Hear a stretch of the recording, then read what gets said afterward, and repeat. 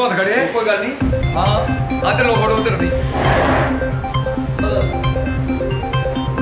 ਸਾਡਾ ਇੱਕ ਜਿੰਦਾਬਾਦ ਜੋ ਵੀ So Music Studio. ਕਿੰਨਾ ਭਾਈ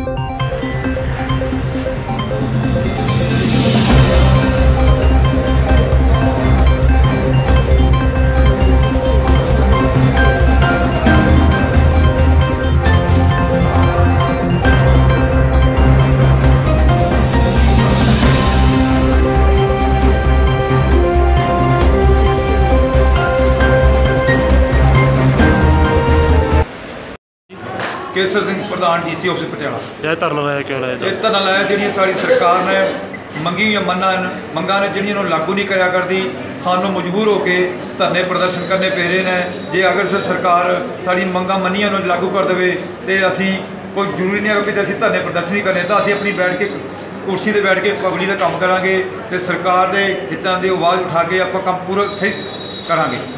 ਕੀ ਕੀ ਮੰਗਾ ਤੁਹਾਡੀ ਸਾਡੀਆਂ ਮੰਗਾਂ ਹੈਗੀਆਂ ਨੇ 2004 ਤੋਂ ਬਾਅਦ ਹੀ ਪੈਨਸ਼ਨ ਬਹਾਲੀ ਹੈਗੀ ਹੈ। ਦਫ਼ਤਰ ਦੇ ਵਿੱਚ ਸਟਾਫ ਕੋਈ ਨਹੀਂ ਹੈਗਾ, ਇੱਕ ਇੱਕ ਕਰਮਚਾਰੀ ਕੋਲ 10-10 ਸੀਟਾਂ ਦਾ ਕੰਮ ਹੈਗਾ। ਅਸੀਂ ਇਹ ਕਹਿੰਦੇ ਨੇ ਵੀ ਇਹਦੇ ਜੇ ਕੋਈ ਨਵੀਂ ਭਰਤੀ ਹੋ ਜਾਵੇ ਜਾਂ ਕੋਈ ਕੋਈ ਬੱਚੇ ਨੂੰ ਰੁਜ਼ਗਾਰ ਮਿਲ ਜਾਵੇ, ਤਾਂ ਅਸੀਂ ਸਾਰਾ ਡੀ ਦਫ਼ਤਰ, ਸਾਰਾ ਵਧਾਈ ਦਾ ਪਾਤਰ ਹੋਊਗਾ। ਜੇ ਕਿਸੇ ਬੱਚੇ ਨੂੰ ਰੁਜ਼ਗਾਰ ਵੀ ਮਿਲੂਗਾ, ਤਾਂ ਉਹ ਵੀ ਬੱਚੇ ਸਾਰੇ ਵਧਾਈ ਦੇ ਪਾਤਰ ਹੈ